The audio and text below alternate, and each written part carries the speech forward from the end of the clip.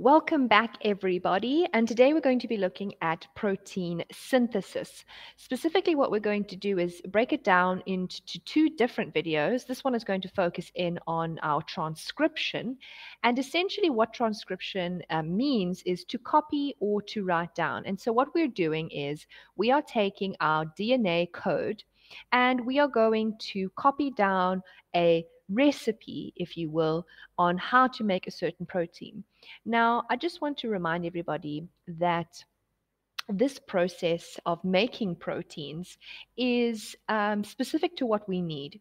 And your DNA is very similar to a recipe book. And like any recipe book, you have many different kinds of dishes that you can make.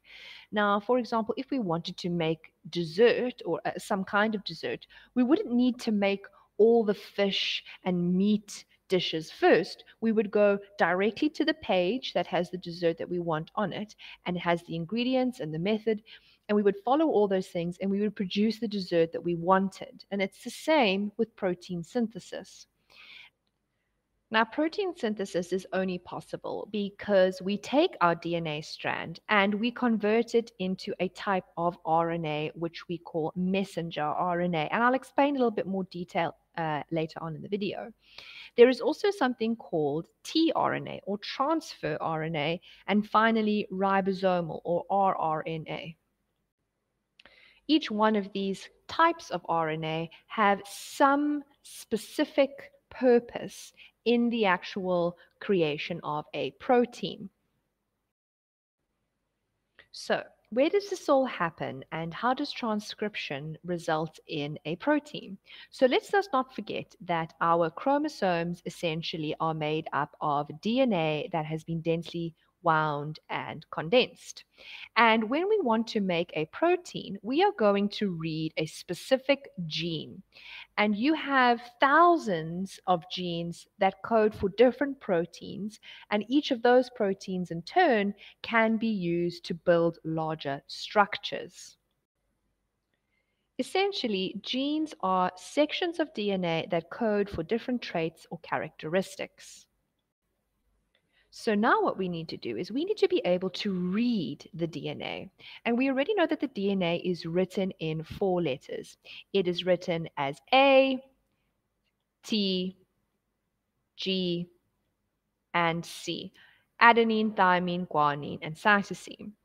But these letters don't mean anything unless they are put in a certain order and they are read and therefore transcribed in a certain order and then translated into a protein at a different stage. Now let's look at the steps that are taken to transcribe a piece of DNA.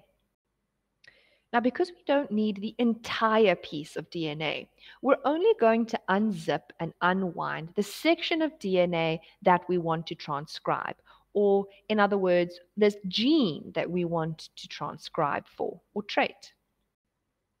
So alongside, I have drawn a piece of DNA, and you will notice that a section of it has straightened out, it's unwound, and the hydrogen bonds that are going to run down the middle here that hold the nucleotides together have separated, and they're going to break apart. And that's because we need to get into the lettering, we need to get into those nucleotides, and we need to be able to read them. If we don't separate them, we won't be able to read the code. So, who does all the reading of this particular code? Well, that's up to enzymes. Now that we've unwound the section that we want to transcribe, we now need to use it as a template. And it's important to note that only one side of the DNA is used as a template. For example, on my little sketch here, that means that only this side of our DNA is the side that we want to copy. And so we don't copy both sides of the DNA strand, we only copy one side. Now, the proteins that are responsible for coordinating the whole transcription process are going to read the code three letters at a time. And if we have a look at the diagram here, when we refer to these three letters, we call them triplets or base triplets in DNA. And so what we do is we take these three letters, in this instance it's CAT, and we are going to copy them. But we cannot copy them directly. Instead, we have to use their complementary base pairs. And so we form something called a codon. A codon is complementary to its triplet. And so that means that if the triplet, like in this instance, is CAT, its complementary side will be GUA. Now, I know you're asking yourself, but where did this U come from? Because generally, adenine, A, joins with thymine. Well, now that's the difference in RNA molecules. In RNA, A will always join to U, which is known as uracil.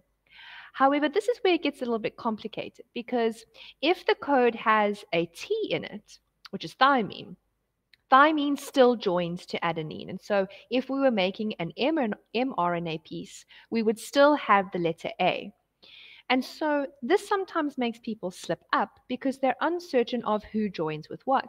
But in the next slide, I'm going to do a little example so you can do one too, and you can work out what exactly would be the complementary base pairs that match.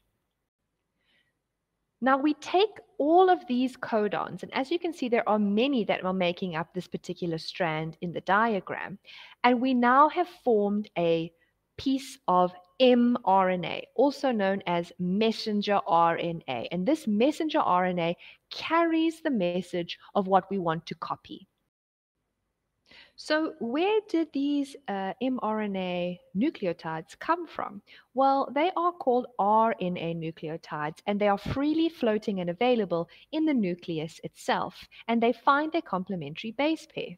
Now, before we finish this process up, we must also note that the DNA does not just stay unwound and unzipped when it's not being used. So when we're done copying down the necessary codons for the mRNA, the DNA strand will wind back up again and it will rezip because we want to preserve the nucleotides and we don't want to be losing any of them or deleting them because this can result in mutations. And mutations ultimately result in different proteins being created. So now we have a piece of mRNA. And as we can see in the diagram here, just to reiterate that and to go over the lettering, we need to remind ourselves of who joins with which complementary base pair. And so what we've done here is we are copying this top strand over here. And so you will see that the complementary base pairs include only the letter U. And so if we were to write this out, you will see that A joins with U, no longer anymore the letter T, but now you see the letter thymine. Now, thymine still joins with A. And so when you actually write the genetic code for the mRNA, you should never see any letter T's. If you have, it means you've done the process incorrectly. Luckily, the letter G, which is for guanine, still joins with cytosine, and so on and so forth. Now, this piece of mRNA that we have now made, and that is complementary to the DNA, now needs to leave the nucleus. Now, the nucleus itself, if we were to do it a little sketch here, has a membrane. And the membrane has these little openings in them, which we call nuclear pores. And this is exactly where our uh, mRNA is going to leave the nucleus from. And essentially, it's going to leave the nucleus, and its next destination is our final destination, which is called a ribosome. A ribosome is the organelle that is responsible for protein synthesis, and it is the ultimate destination for the mRNA molecule. Now let's do a quick recap of today's terminology. So first of all, we looked at transcription. Transcription is when we take the genetic code, we unwind it, we unzip it, and we copy a section of it in order to make a protein. Now, we don't copy the entire section, we only copy out smaller sections called genes. And the ultimate product of transcription are mRNA molecules or messenger RNA. And the messenger RNA reads the DNA triplets, which are the letters A, T, G, and C, and they form what we call codons, which are sets of three letters. Keeping in mind that now, when we make mRNA, A now joins with U. Let's not forget then that uracil is taking the place of thymine. Then there is something called tRNA, which I mentioned at the very beginning of the video, but we need to understand what it is in, a, in the next video in relation to translation, which is the second stage of protein synthesis. And last but not least, the ribosome. The ribosome is where we're actually going to produce the proteins. And so we've now spoken about copying the genetic code in the nucleus. We've moved into the cytoplasm, and now we are going to go to the ribosome essentially the protein factory. It's so important to have good terminology and to understand how to use these words correctly. So make sure you go through them, keep reference of them, and I'm going to then set up another video explaining translation. So go and have a look at that, and I will see you all again soon. Bye.